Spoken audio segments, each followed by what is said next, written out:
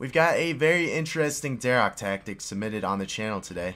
Its DH has a Zamorak Godsword as a spec and a unidentified potion in his inventory.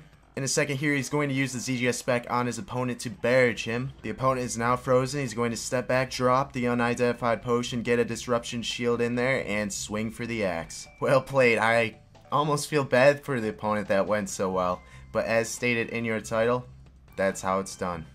Okay guys, we have a claw wrist fight here against My Suit Jr. So good luck to him.